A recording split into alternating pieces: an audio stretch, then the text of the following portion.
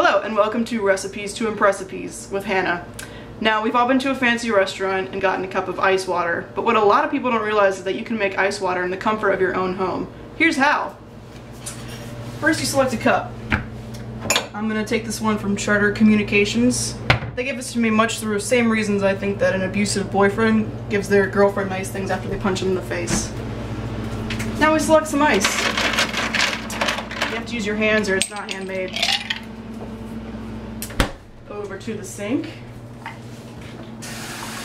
Good stuff.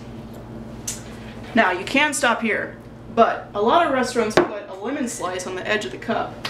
I don't have any of that, so I'm gonna use a grape instead. It's basically the same thing.